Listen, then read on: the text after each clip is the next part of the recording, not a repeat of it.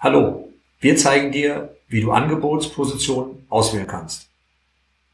Über den Reiter Angebote und Angebote schreiben gelangen wir die Angebotsmaske. Du hast hier die Möglichkeit, bei Produkten und Serviceleistungen auszuwählen. Open Handwerk bietet verschiedene Wege, Positionen in Angeboten abzubilden. Weg Nummer eins: Du entscheidest dich für eine Serviceleistung, kannst hier eine Normalposition begehen. Die geht automatisch in die Kalkulation. Du hast die Möglichkeit, eine Serviceleistung als Alternativposition anzulegen. Oder du hast die Möglichkeit, eine Serviceleistung als Bedarfsposition anzulegen.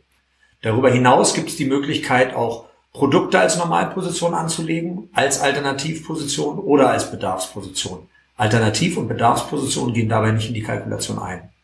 Im Bereich Produkt haben wir noch die Spezifikation, wenn du dich für ein Produkt entscheidest, dass die Software dich fragt, ob du auf dein Leistungsverzeichnis zurückgreifen möchtest oder ob, ob du auf deinen hinterlegten Datenbankkatalog zurückgreifen möchtest.